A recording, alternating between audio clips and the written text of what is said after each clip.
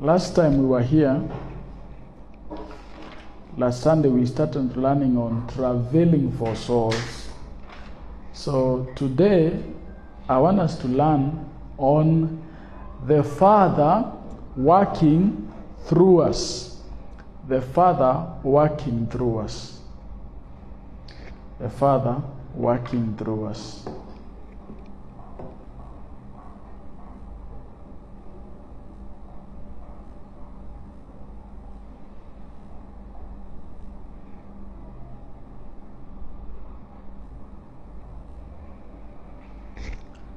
Are you ready? Mm-hmm. Okay.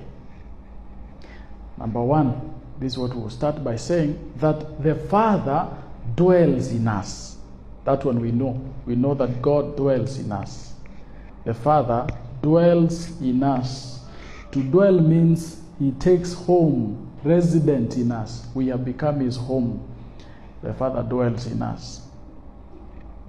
Now, today, I will endeavor to move you from, you know, we know this revelation of God dwells in us. Now I want you, starting now, to move from where He doesn't just dwell in you, He works through you. Okay? He talks through you, He touches through you. From today, when people say uh, God has done something, He will be doing it through you. You'll be available for Him to do things and change uh, situations through you. Now, let's read Matthew 1. Matthew 1.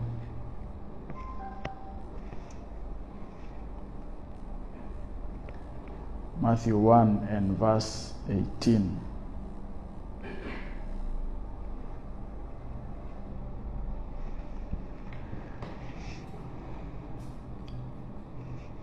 Now, the birth of Jesus was in this manner.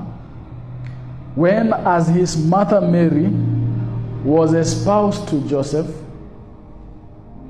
before they came together, Mary was found with child or with a child of the Holy Ghost. Hello? A CRA teacher said the father of Jesus was Joseph. Can you see how wrong that CRA teacher was? Hello? Talk to me now. They were wrong. We know, if you read from chapter 1, you find out that Joseph was not the father of Jesus. So, who was Joseph in Jesus' life? Just a custodian. We're just supposed to watch over this child as he's growing. Now, who was then the father of Jesus? Is what I want to show you. You ready? Look at verse 18. When, as his mother Mary was promised in marriage to Joseph, before they came together, that means before they slept together. See? That means no way Joseph will be the father. Then he says, she was found with a child of another father. Who is that father? The Holy Spirit. See, now it's clear from scriptures that this Jesus now from now basing on that scripture every time to tutasikia Yesu in the scriptures akisema my father you know who he's talking about hello especially when he says the father that is in me you know he's talking about the Holy Spirit and that is important also for you to know that today the Holy Spirit is not just Holy Spirit, He is also your Father. Because He is the Spirit of your Father. Do you understand this? He proceeds from the Father. Most people don't realize that the Holy Spirit actually loves you. Because most people are so aware and conscious of the love of Jesus, they are aware of the love of God Almighty that sent His Son. They don't take time to focus on the Holy Spirit. Let me give you a quick example. You, huh? Just you, eh? The way you are, with the things that God is helping you, imagine the Holy Spirit is staying with you. Hmm? Me, particularly, I have given him some hard time, you know, and he is still in me. What does that tell you? That he loves you. And He is not staying with you because you're getting everything right. No. He's staying with you because you are His child. And guess what? He knows you'll get better. All right? So He stays present. Now, watch this. Let's now jump to John 14. Now, after Matthew 1, you will understand that one better. John 14.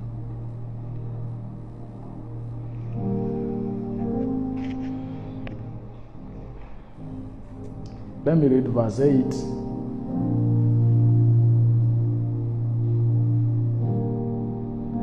Let me use the NIV for verse 8. Philip said, Lord, show us the Father.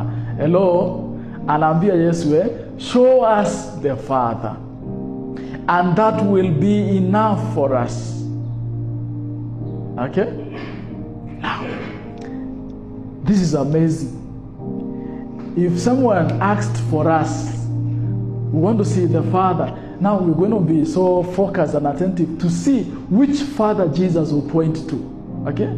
So you want to get the answer now, which is the Father. Look at verse 9. Jesus answered Philip, Don't you know me, Philip? You missed it. Philip said, Show us the Father. Jesus said, Philip, don't you know me? Huh? Then listen, then let's read on. Even after I've been among you such a long time, hello, Ebu look up for a minute. Jesus said, The words I speak are not my own. Huh? What does that tell you? When he's speaking like this, it's not his words, it's the Father speaking. All right? And he says, I've been among you for such a long time. Anyone who has seen me, Jesus, has seen the Father. How can you then say, Show us the Father? What is Jesus saying? Jesus is saying that do you know that God is a spirit? Do I have your attention? God is a spirit. But he takes on a physical body, and that body is called Jesus. Okay? So Jesus is the tangibility of the Father. Jesus is the Father that can be touched with hands. Are you here? Hello? No, I want you to understand something. This is foundational. If if you don't get what I'm teaching now, a few minutes down this teaching, you will not really get the rest of it. So pay attention. I said Jesus is the tangibility. That means is the physical part that you can touch about God. Okay? Because he is his body. Alright? So when as Philip, man using physical eyes says, Show me the Father, Jesus says, Okay, you want to see the Father? You're looking at him. Alright? Because Jesus is the Father manifest in the physical realm. Huh? Yes. Jesus is God who is spirit taking flesh. So that now the Father is no longer away from us, the Father is in our midst. In fact, look at Isaiah, common scripture. In less than two months, we'll be reading this scripture.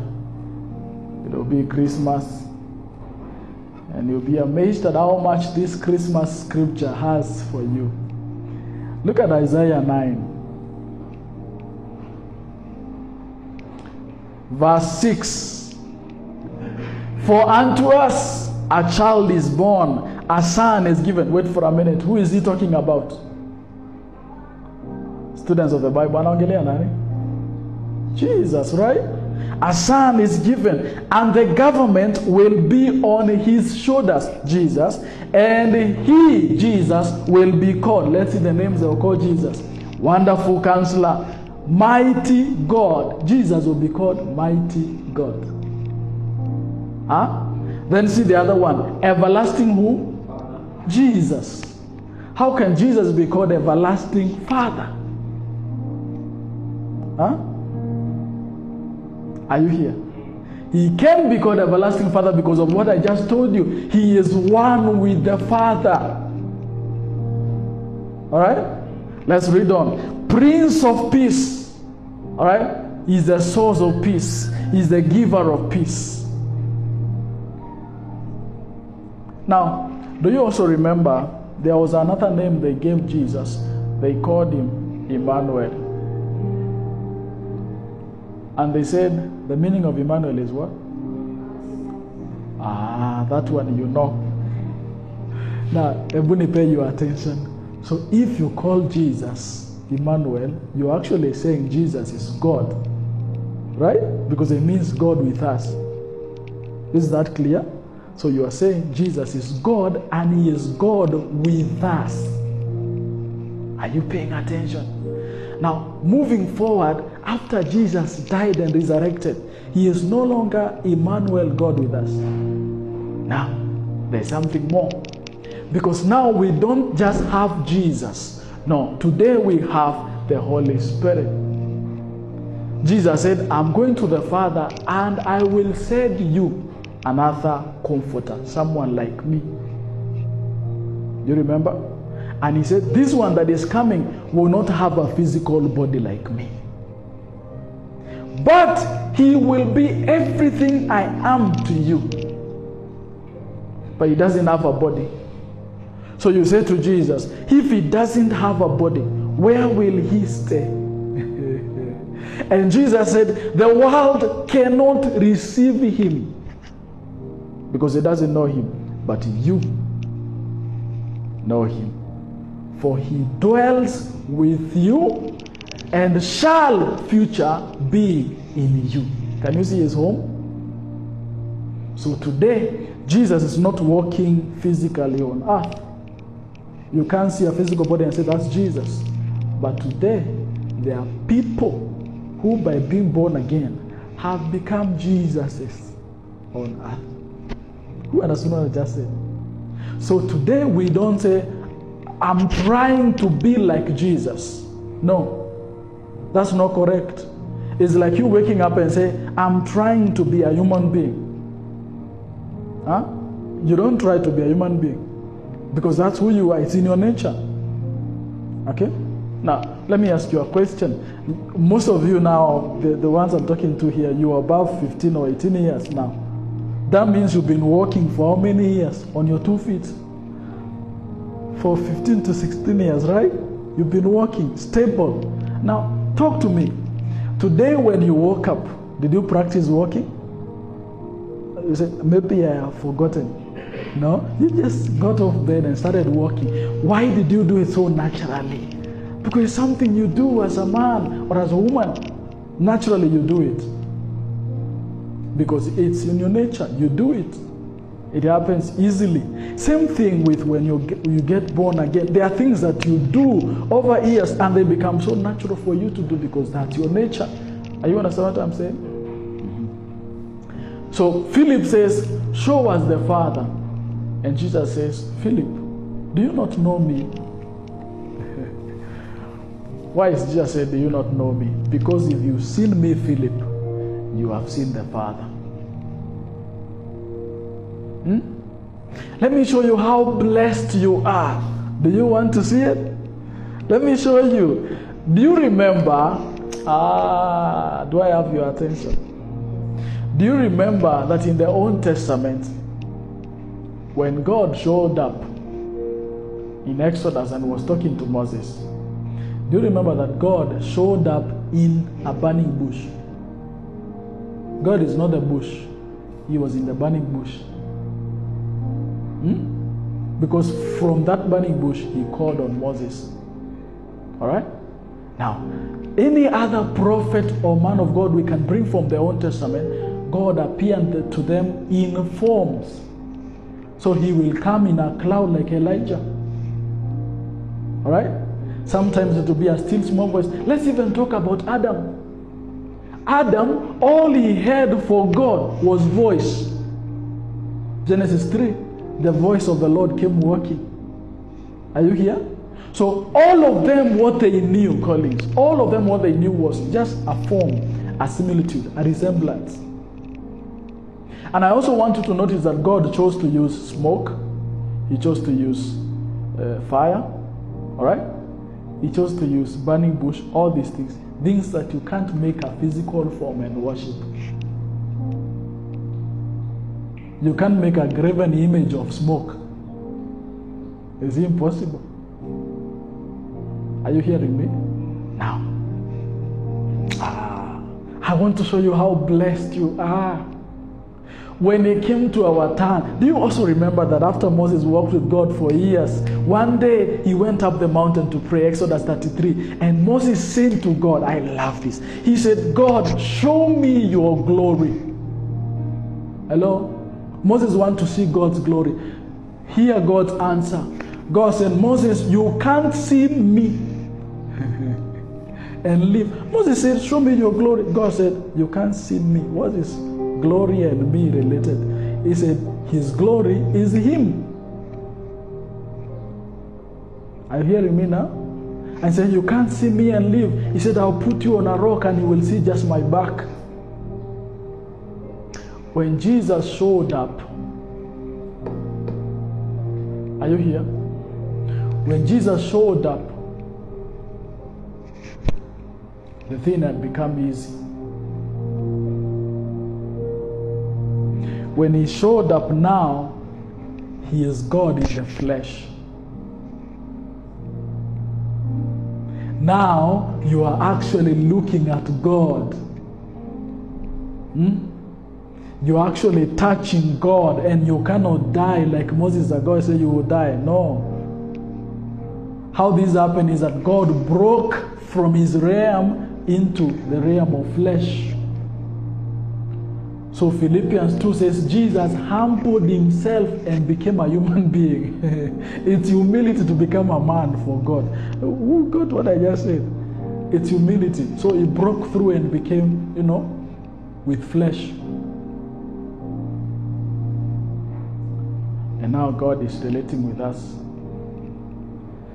But something more is about to happen, which is my focus today. Let's go back to John 14. John 14. Hallelujah.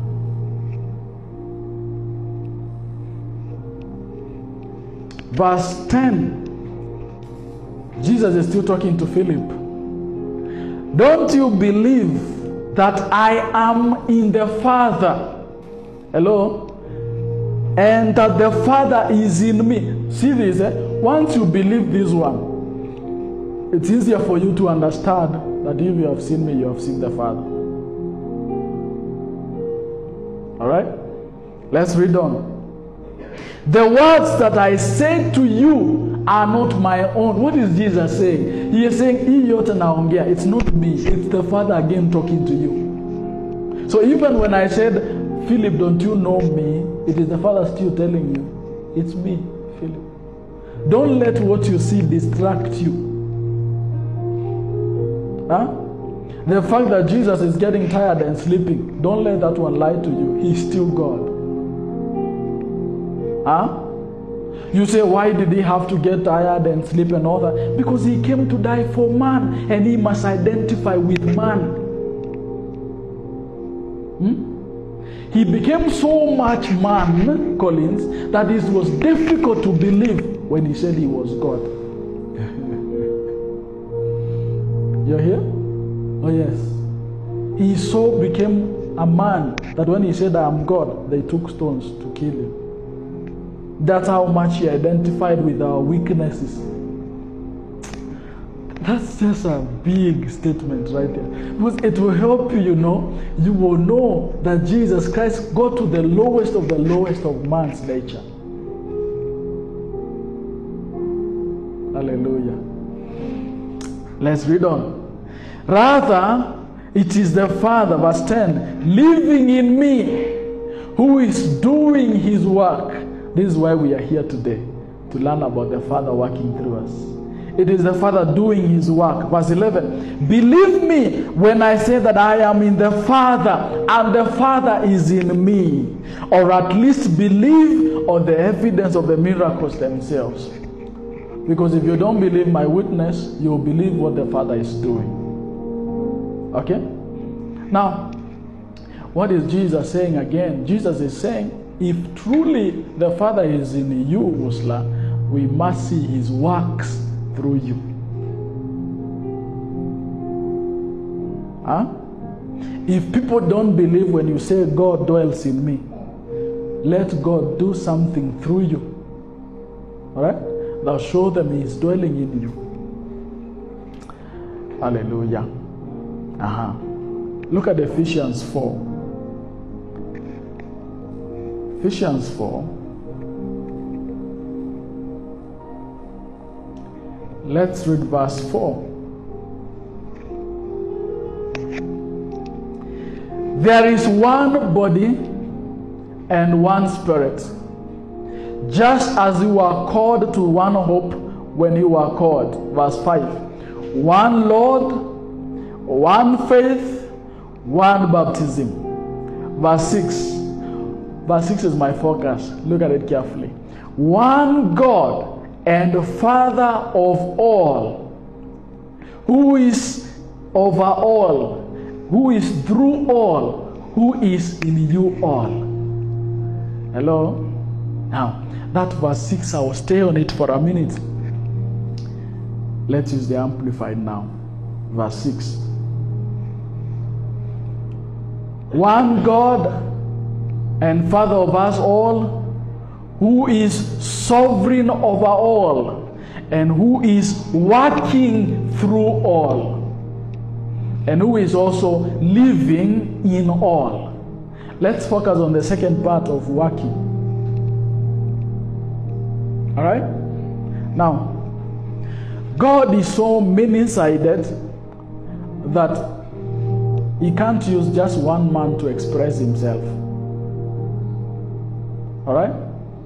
That means when you look at uh, Jerry there, she will express a certain side of God. Maybe it will be walking in love the way God walks in love. All right? Maybe it will be another gifting or empowerment from God. And you look at Usla there, a different one. You look at Collins, a different one. That's how God set us. Because He's so big, He can't have one man express Him.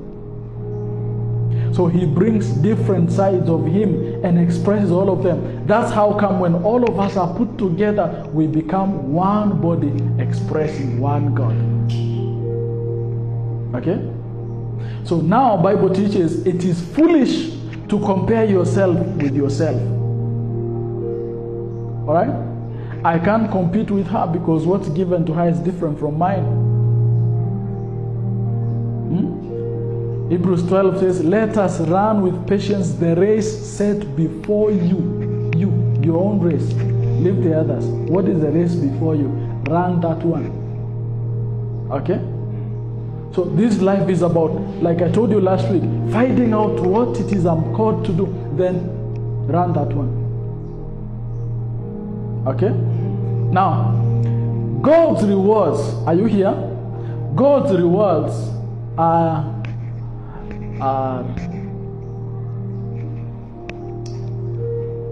are based on his assignment to you. Let me give an example.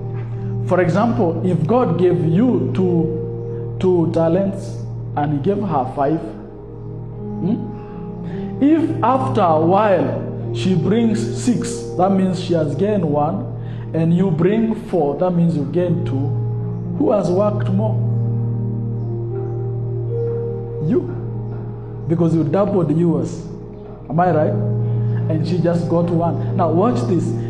You, as people, if you compare yourself with her, you have four, she has six. So you'll be thinking, she's doing better than me. But when God looks at you, he's thinking, you're doing better than her based on what I gave you. Who is understanding what I'm saying? So if God tells you, I'm just giving you one talent, work with this one, and you bring him three, and he gives me 20, and I'm boasting with my 20, and I bring him 21. God they say You failed. That's how it is also in the house of God. You look at people standing here, leading in songs, preaching, and all that, and you think those are the people that in heaven will get the biggest rewards. I have news for you. It's not those words. The ones that will actually carry the biggest rewards in heaven are those that fulfill their purposes, those that carried out the assignment. Hmm? Let me not go that direction because I'll say a lot. Uh-huh. Says two, working through us. So God is working through you, not only on Sunday. After today, every day God is working through you. When you talk, God is talking through you.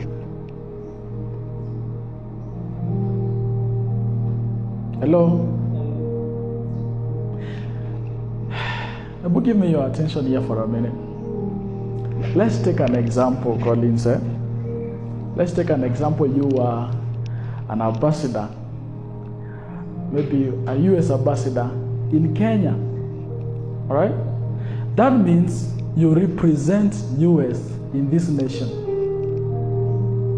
You know what that says? That means while you are in this nation, whatever you say as ambassador is what you as is saying. You understand that? And that also means the way you conduct your life, personal civilian life, must carry the same dignity. All right? It must, it must represent the nation that sent you. Hmm? Now, what if, what if this U.S. ambassador, in coming days, we find him doing all manner of crazy things? Guess what we will say? He is embarrassing the nation that called him, that gave him the assignment. And guess what? The president will call you back. You most likely lose your job. Now, Bible says you are ambassadors for Christ. You've come from heaven. Don't live on this earth as though it's your it's your home. No, you are a stranger. Huh? You're passing through. All right? Now let me show you. Doesn't matter what things you get on this earth that will give you comfort and all of it. All those things you can't go with them. No, it's just you and your works that will go to the Father. Hmm? But the things you got and did while on earth is God's way of making sure that you're comfortable operating down here. Hallelujah.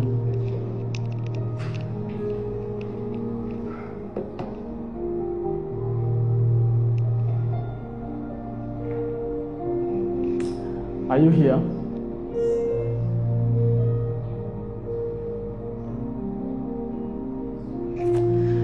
Say the Father dwells in me. Imagine, imagine doing business with that mentality. Imagine sitting on a public means of transport with the mentality that God dwells in me. You know what you'll be thinking while you sit in that bus? God is seated in this bus. In me, He is seated. Imagine when people look down on you and talk down on you, you won't shed a tear. You know what you'll be thinking? If you only knew who is dwelling in me. The fact that you're talking like this is that your eyes are blind. You can't really see who. It's like looking at Jesus and talking oh, all manner of evil things about you. It just goes to say you don't know who he is. Second Corinthians 5. Can I show that to you quickly? so that you don't have time to oh you are so important you can't you, you can't cry that someone said or feel bad that someone said that's not you look at second corinthians 5 are you here? 5 verse 14 oh hallelujah. For the love of christ controls us and compels us because we have concluded this that if one person died for all, then all the people died. And he died for all so that those who live would no longer live for themselves, but for him who died and was raised for their sake. Look at verse 16. Verse 16 is my focus.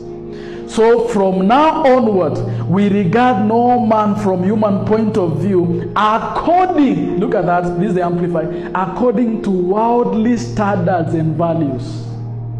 Eh? I'm going to me NLT so you guys will get exactly what he said. So we have stopped, hello, we have stopped evaluating others Uh-huh. We have stopped evaluating others from a human point of view. Mm. At one time, hello, at one time, we thought of Jesus Christ merely from a human point of view. I told you this. Paul is saying at one time, all I look when I looked at Jesus, all I saw was a man like me. And so because I saw a man like me, it didn't benefit me. Hmm? Okay. Let me take a different version.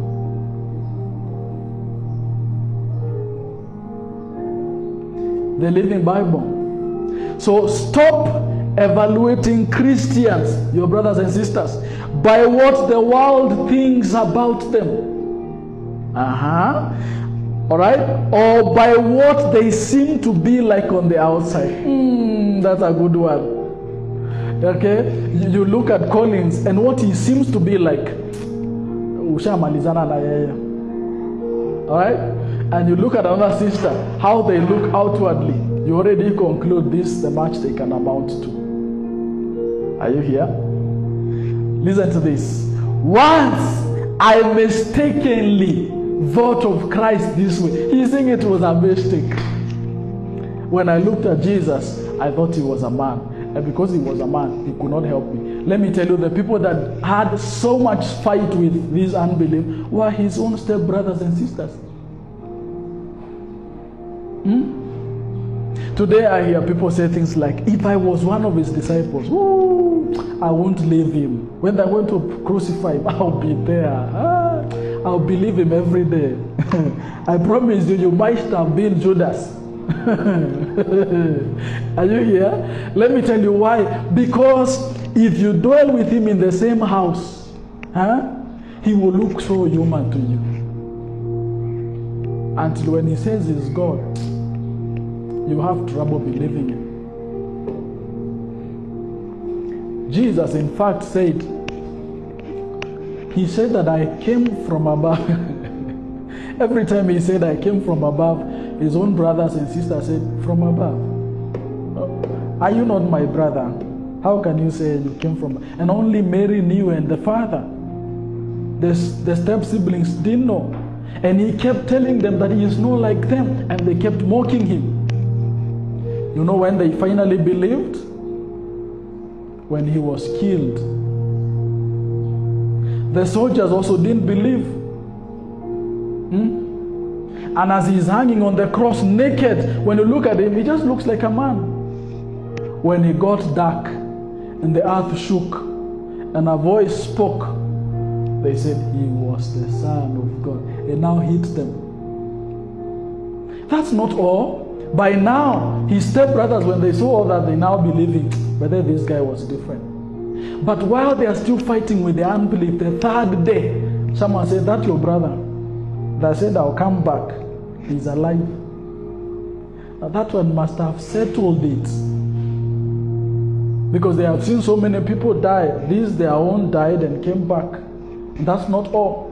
After he resurrected, Acts 1, He's talking to them and he started to go. He told them he's going back.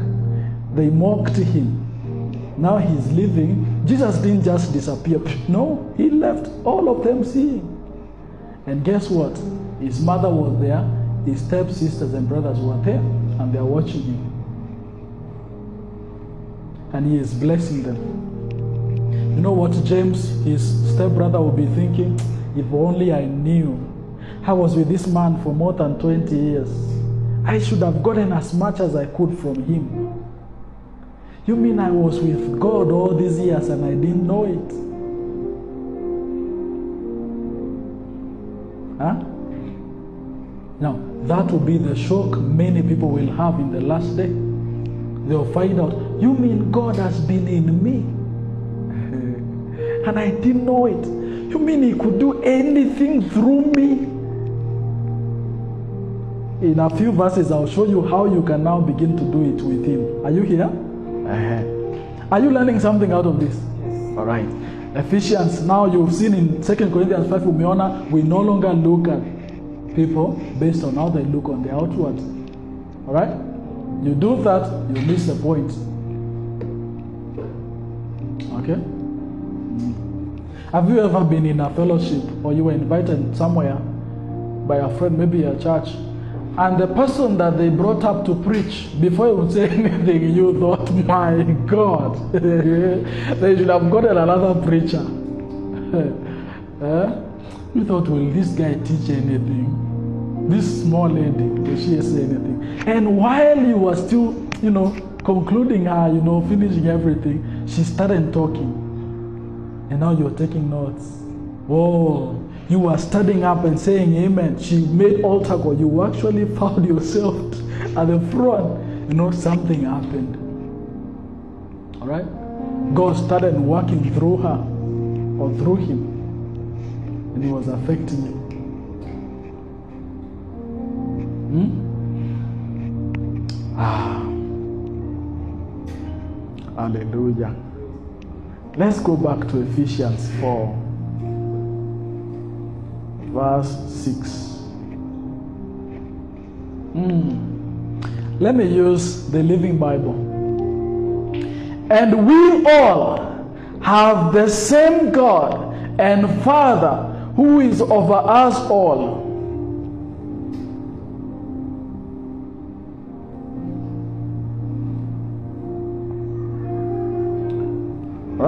Who is over us all and in us all and living through every part of us. Wow.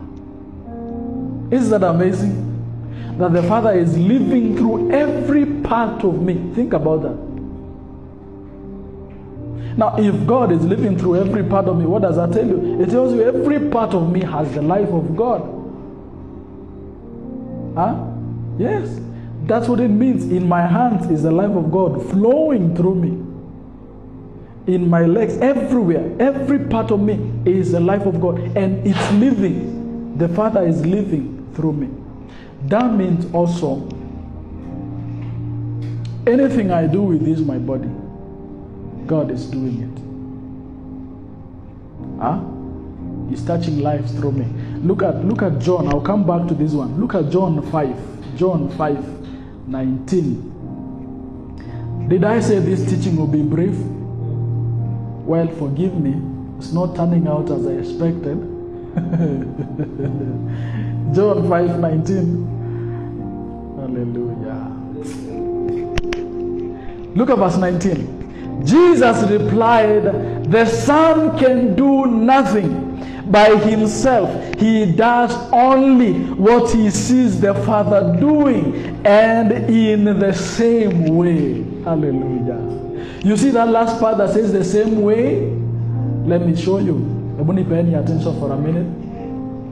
When he says he does in the same way, this is what it means. It means, Collins. Are you here? It means if the Father takes, say, for example, this place and moves it, maybe he's moving things and he moves them like this, the Son does the same. He moves with the same ability. He moves them with the same way the Father does it. He's letting you know what the Father can do, the Son can also do. But they work as one. In fact, some of your version says, in like manner. Right? That means now you don't say, What would Jesus do? No. That question is answered by your natural actions. Are you hearing me? Naturally, you, that's how you respond. Okay? And then your response matches his ability. In fact, look, look at. Oh, hallelujah. Ursula.